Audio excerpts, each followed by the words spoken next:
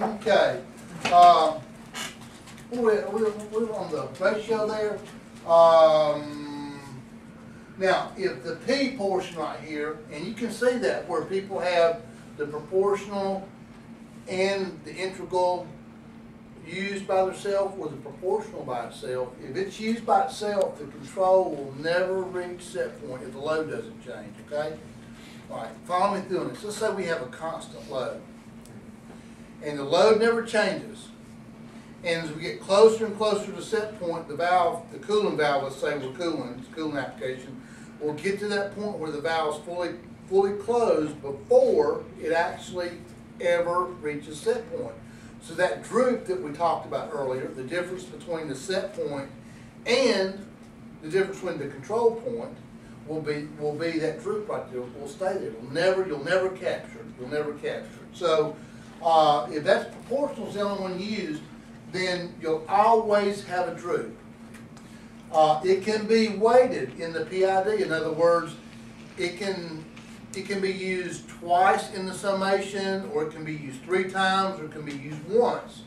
It can have a weighting, and you typically, when you're setting the PID up, that's when you do the weighting. And it's one of the algebraic, uh, functions that are summed as part of the PID. Integral portion. Basically, what it does is it offsets the set point. So let's say we have it set for seventy-two degrees, and it's way away from that set point. So what we do is we, we set the set point to something higher to make it work harder, okay? So it basically offsets the set point so that the desired set point can be achieved. And that's what it does. It'll offset it inside the machine, but you'll still have to set for seventy-two up there.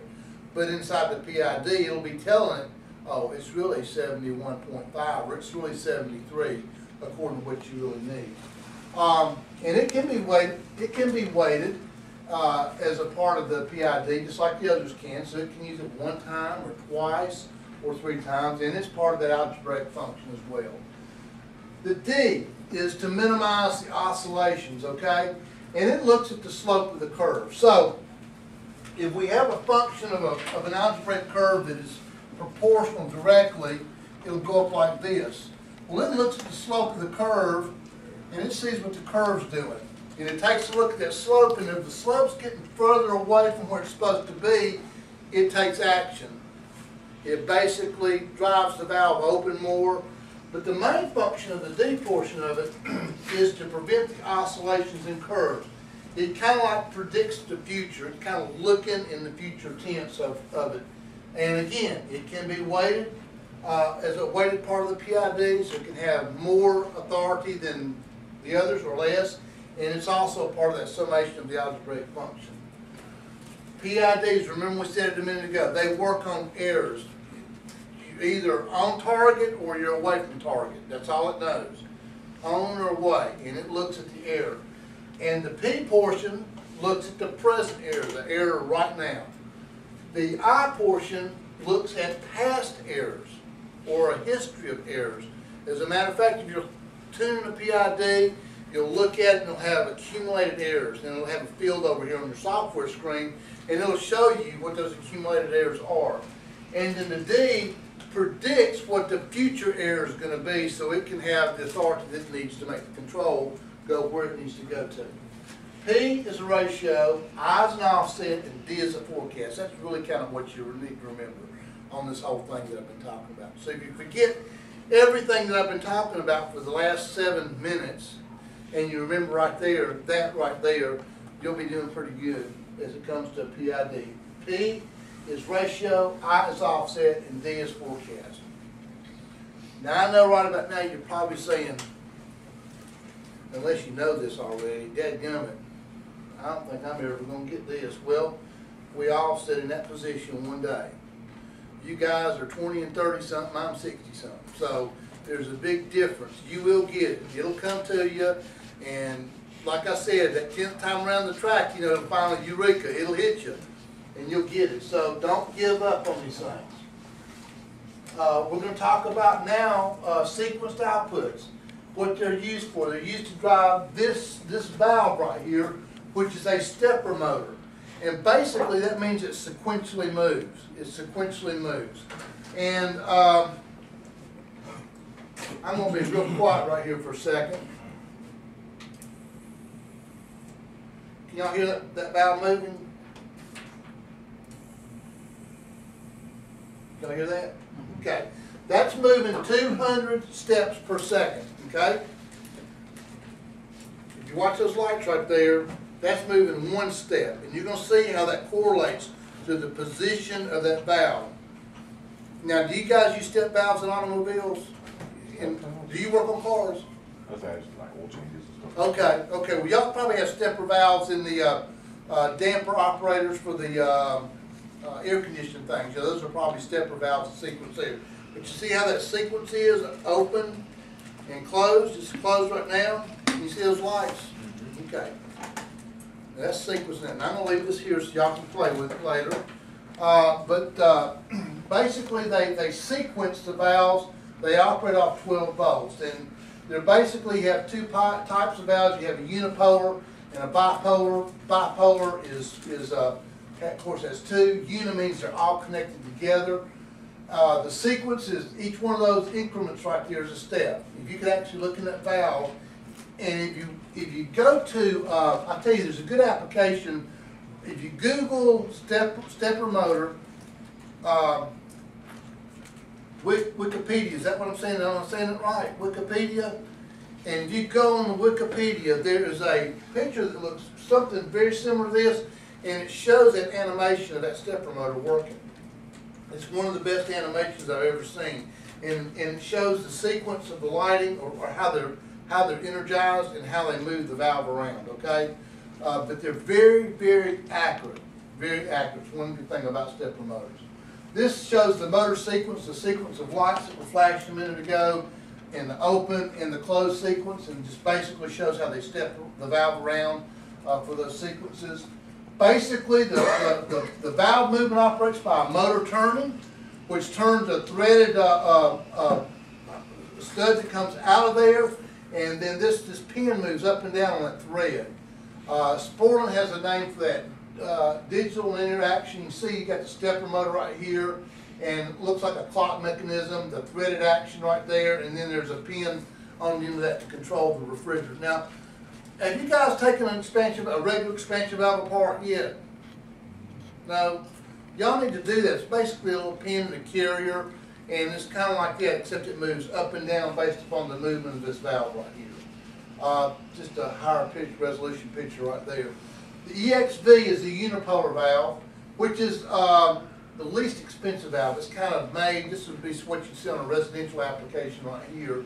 Uh, this valve right here is the SER valve, and this is what you would see like on a commercial application or a, a, a refrigeration unit, uh, i.e., uh, uh, closed door case. You know, five door frozen food case is where you would see this, but you would actually see it, would be down in the bottom of the case, I hope. Uh. Typically, the valve would be in the bottom of the case where the coil is, and this device right here would be on top of the case, up, uh, on top of the case up there. And there'd be an interconnecting cable, this right here, between the two of them. Uh, these are larger valves, this probably you would see on a chiller.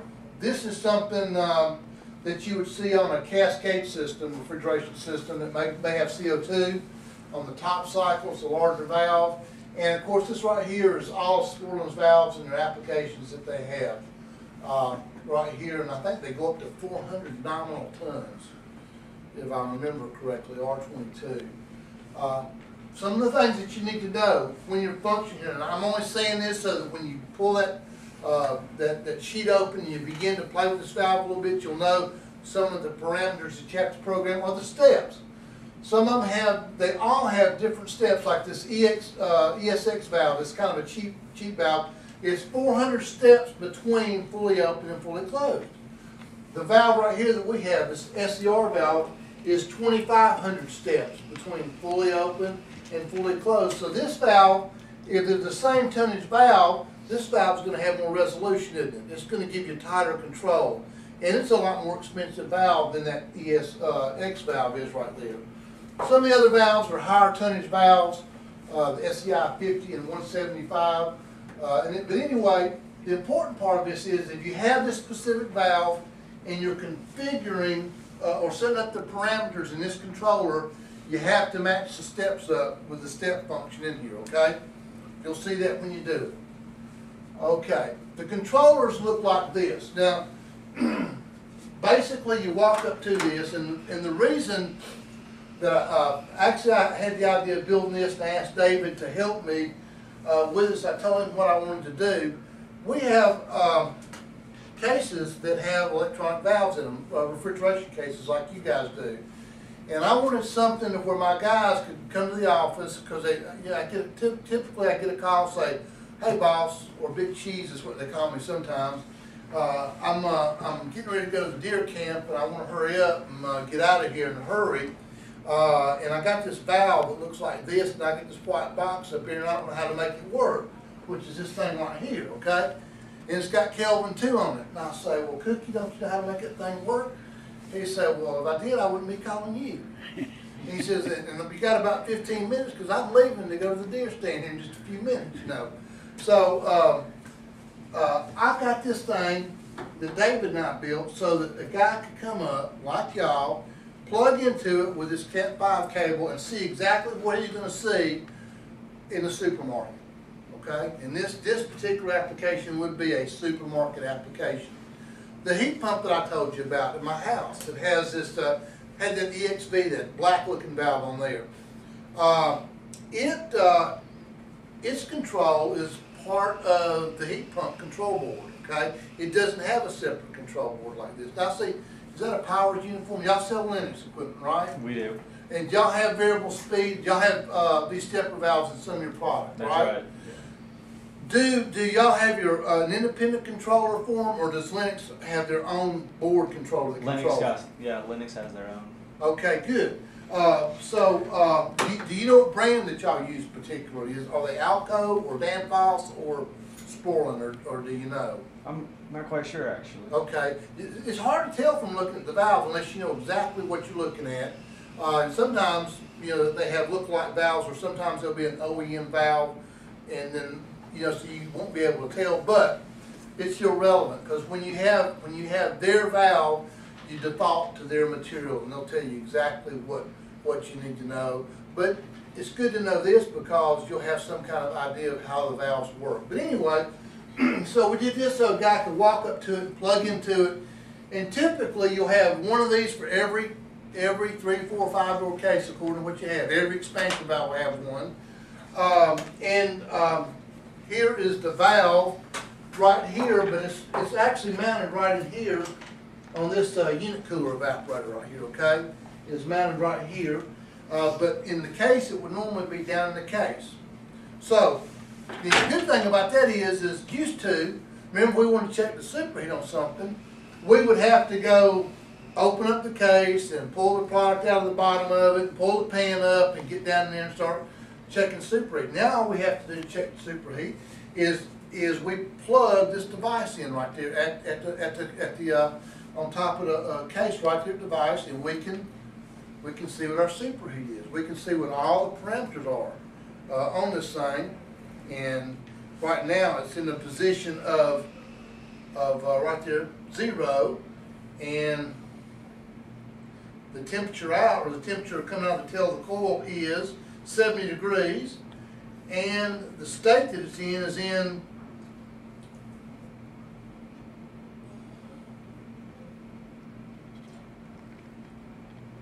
superheat is, hold on, fifty-five, and let me get over here to the state. The state is, should be in pump down mode, okay? Because I put this little switch up here to emulate a pump down. In other words, a, a relay says pump it down, okay? So it's in the pump down mode, so right now it's not calling at all. All right. Uh, you can get them with, uh, the display on them, uh, but when you got a hundred of them in the store, it's a lot cheaper for the manufacturer to put that on there and then have one display unit to go around the store. Now, they can be interlinked together on what they call a Modbus, and, or, uh, network together, and you'd have a laptop, you go to the laptop, you go to the address, or you could even use this on, um, this address bus right here, still use this dev- device right here and go and go to the address that you want, and then hit, you hit the button, jig the button as Jay Clower says, and then get the parameters off of that valve. Yes, sir. Uh, Now, can you run all those uh, without the display and uh, hook them up to where you can control them off of an E2? Uh, I don't know if you can control this particular valve off of an E2. I know that you could control an Alco valve off of an E2.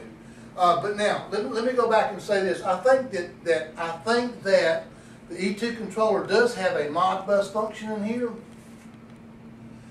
And, uh, the E2 controller has Modbus, and this also speaks Modbus. Now, Modbus is a control language, okay? It's really kind of a primitive control language, but it's a common control language that everybody's controller speaks. So, yes, you can speak through the E2 to this through Modbus, but you may have to jump to a different level, you know what I mean, to get to that level versus just walking up and linking into it. Yes, sir.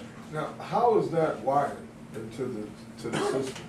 Okay, how is this wired The into the system? Okay, this right here? Uh-huh. Okay, now this is just a Cat five cable, uh, like you'd use to connect, uh, any kind of ethernet together with, or a bus together with, it's just a Cat five cable, I plug it in here, and I plug it in here. Now, this is, and, and this is one of those things that y'all can, uh, y'all can look at later, and y'all can even, if you want to, wire it and unwire it. This is wired into this, this system right here. Can you see that good right there? Okay, so you have those cables that go up. You have a cable that goes, of course, you power it up through the transformer, uh, through those terminals right there. You have a cable that goes up to the expansion valve. You have a, a cable that goes up to the, uh, pressure transducer, which is right here, okay? And then you have uh, some input switches. Right here's an input switch for pump down. That, I'm just faking it out with this pump down switch. You have a thermistor right here that comes over and wires into it. Um, and then there's a, a suction line thermistor over here that wires into it. Now, it really only uses two, two of those devices for control of superheat. And that's the suction line temperature and the pressure transducer, the two things it uses to calculate superheat, okay? Uh, so that, that's what it does. And so that's how it's connected to the system. Now, remember, uh, this would be connected to the, uh, close, in close proximity. Uh, and I say that because I think this cable, you can get it, in, they call it meters, but if you string it out, you see it's pretty long. It'll get you a twelve foot case. You can put the controller up here and then bring your, loop your cable down and get to the valve to the end of the case if you want to, okay? So that's how long that is. So, uh, that would be up on top of the refrigerated case. And then, of course, that would be down in it. Now, your other pieces would, would connect by those cables, by way of those cables there, okay? Did I answer your question on that? Yes, uh-huh. Uh, this is, I'm gonna leave this with you too, so y'all can play with it. This is a diagram that shows us connection ports.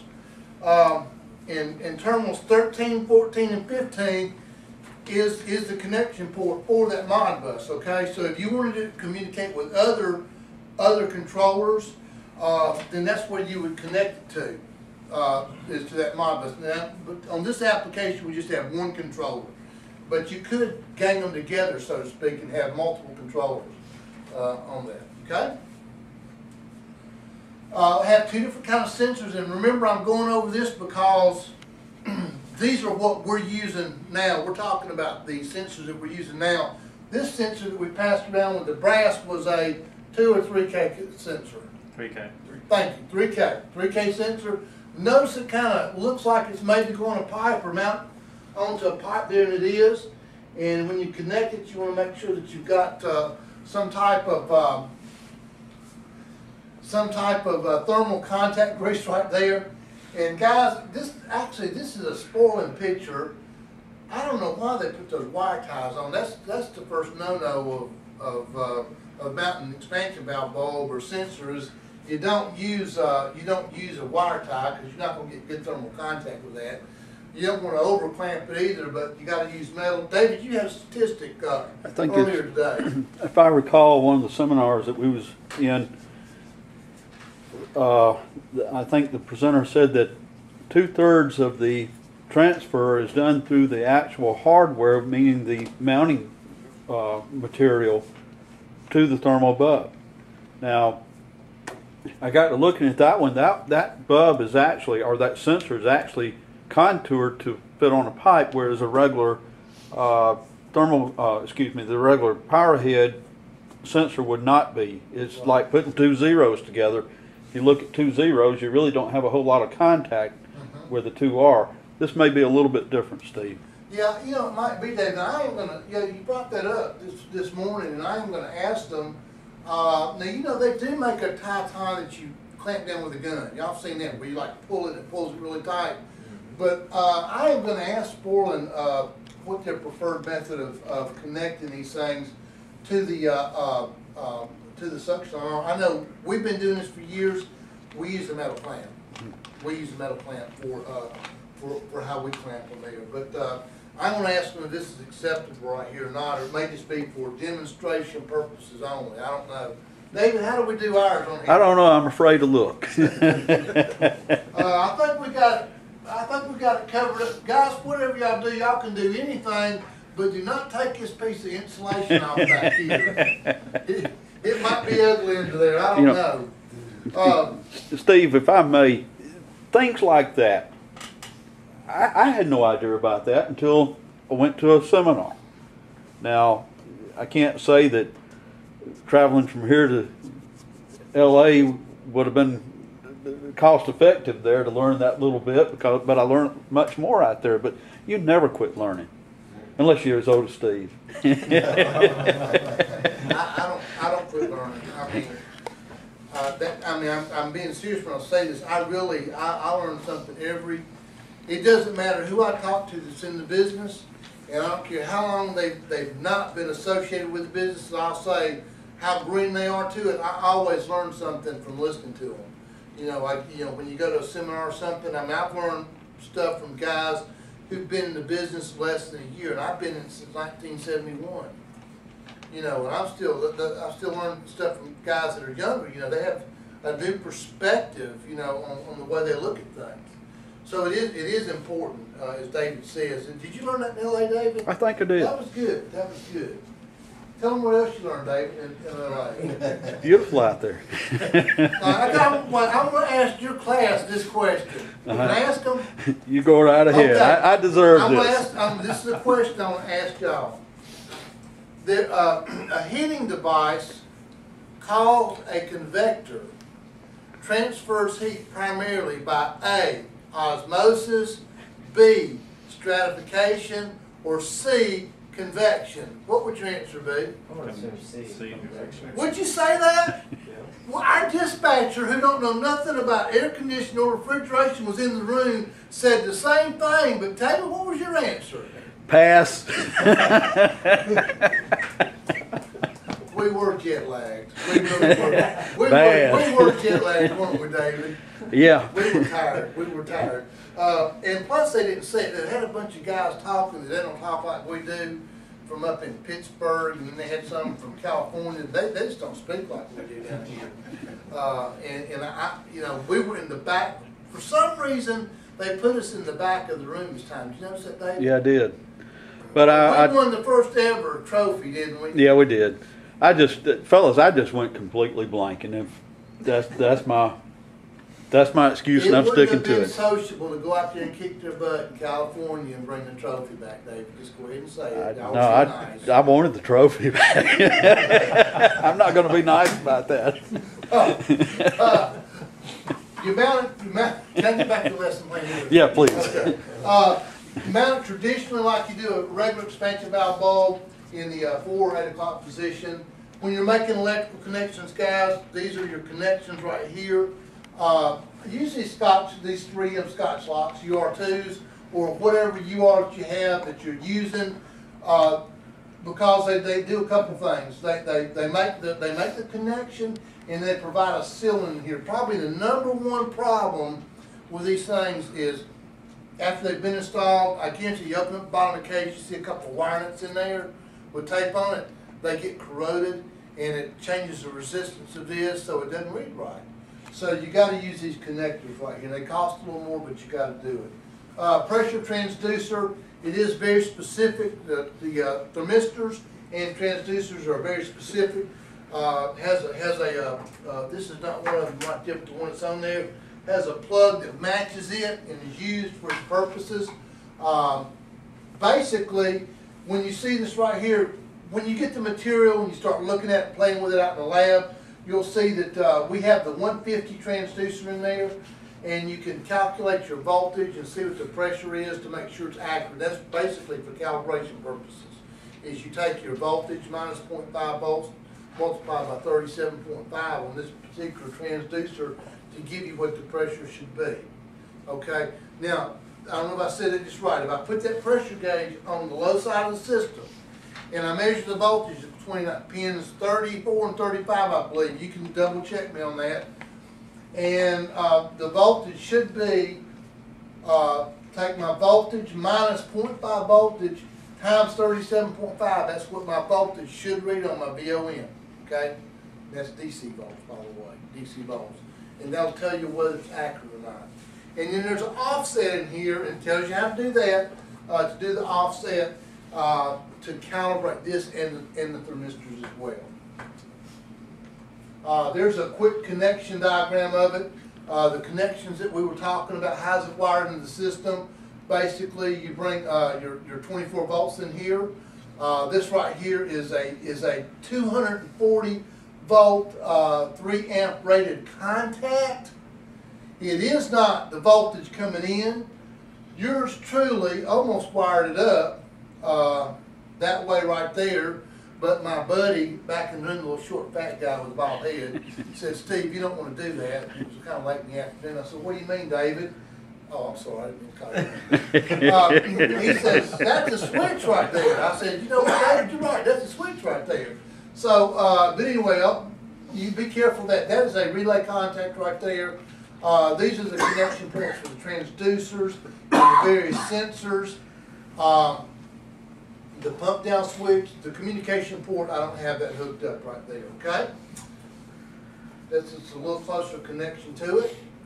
Uh, in your appendix, the handouts I'm gonna leave with you, you'll see that, uh, the processes that we talked about right here, uh, when we look at this controller, uh, that come up, uh, or right here, dialing it first, then tells you how to get down into the controller, to drill down into it, the passcode is one one one, and then when you get down and- drill into it, you have the processes without, without just plugging in. And you have those, those basic processes right there, but if you wanna drill down and start changing stuff, uh, the passcode is one one one, it's written on there, so you don't have to remember that. But then you have all these other parameters that you can change and set, okay? And don't worry about getting it out of discombobulation. I want you to open the valve up, let the machine run, watch it flood back, try to bring the superheat down to two degrees, set the superheat high, do whatever you want with it, okay? Remember, if you tear it up, we can fix it. We can fix it. Don't worry about that. Have, have some fun with it and, uh, and observe the refrigeration system as well. There are a couple sight ports on here so you can see, this should be vapor and oil coming back. You'll see liquid coming back. Uh, coming out of the accumulator, you'll see, you'll see liquid coming out of there too, uh, if it's flooding back bad enough. So, you know, observe those things. Use it as a, a kind of a trainer as well to observe the refrigeration system. Uh, this device right here slows the fan up and down, you, uh, or cuts it completely off. It slows it down to reduce the load. You can watch it, uh, suction pressure change, or you can add the load to it by speeding it up. A rocket scientist to figure that out, didn't it? Just so you'll know, you've got the switches here, one's for the compressor, one's for the whole machine, the other one will cut the compressor off if you wanna do that. And this is the pump down switch up here, and which means the pump, is in pump down mode right now when it says on. Just to, just to, that's not gonna be in these instructions right here. But anyway, you get to all these other parameters that you wanna set and change, and it tells you what the defaults are and what, and whether to change it. And when you begin to do this, okay, if you forget everything else I've talked to you about tonight, about the droop and the PID and all that, if that's just not clicking, clicking with you yet, when you start to mess with this thing, is when you'll start getting it, okay? When you start seeing the superheat coming down, when you start seeing the suction line frost up, when you start seeing those things change in the coil, you actually take your thermocouple and measure these different parts of the coil, it's a single circuit coil, and see how these temperature changes affect it at different loads. And, uh, do, just do some labs. When you start doing this, you'll start getting a connection with, with the device and how it works, okay? So, uh, do that. These are some alarms that come out, and basically, this is on your sheet two, it tells you what alarm you get and what, uh, what's gonna happen when it gets that alarm. And, uh, the first two right there, it goes into a pump down mode. If you have a sensor failure or a, a transducer failure for your, uh, pressure, it goes into the pump down mode to protect the compressor. If you have a low superheat mode, it goes into a super hyperactive mode where it really starts to close it out quickly so as to get the superheat up. Because remember, we want superheat to protect the compressor, right? That's what we want to do. Is that them or me? That's them. Okay. Uh, and then high superheat, it just gives you an alarm out with no response. Okay, resources, uh, www.sporlan.online, and you got these two bulletins right here. They are also in that sheet that you'll have. Uh, it's great. So, questions, you got questions you gonna ask me? No questions? Okay, good. When you get that thing in the lab, don't do that. Do everything but that. I've done that several times, several times. Uh, I, I will end with one short story. One short story I'll end with, and actually David and I built this device right here. We actually took it up to Murfreesboro, Tennessee, and did an RCS presentation with it on this and some other stuff. but back, y'all, y'all know who Muhammad Ali is, don't you? The boxer. How about Ernie Shavers? Y'all remember him? Ernie Shavers was kind of a big guy, bigger, bigger, uh, not as big as Larry Holmes, but almost as big, but bald headed, just, just a brutal kind of boxer, you know. He was just a brutal guy. And so, uh, Muhammad Ali was mine and David's favorite fighter, and he was boxing Ernie Shavers. It was gonna be the, it was gonna be better than the Thrilla of Manila, and it was on TV. And so I had one of them big TVs that weighed about four hundred pounds at my house. This was when we were in our twenties, was it, David? Early twenties. Early twenties. My wife had taken the kids and she'd gone up to her mama's house and me and David had the house to ourselves and we were sitting there watching the TV with our little snacks and the TV looked good and the fight was getting ready to come on. David says, I just was at the Votech school and I took a TV repair course and I can make that TV brighter. I said, "You can, huh?" He said, yes, I even have this, I even have this special, special plastic screwdriver to adjust it with.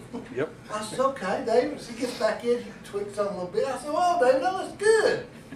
He looks up, you know, he's, he's all him, all him, all. We weren't as fat back then. We were both skinny. and he gets up on there, he looks at, I can do better than that. He him a little bit. I that's, that's good, David, that's good. He, he looks up a little bit. He said, that, that's, I can do better than that. He twists a little more, and all of a sudden you hear something. And it looks like a cartoon. There's a big puff of smoke and all this electrical stuff coming out of the TV, and the TV goes blank. We didn't get to see. I didn't get to see. No, it. you didn't get to go home. I went home and watched it. it. I was gonna kill him. I was gonna kill him. No, that I knew Uh, Beverly was coming home. Yeah, Beverly was coming home.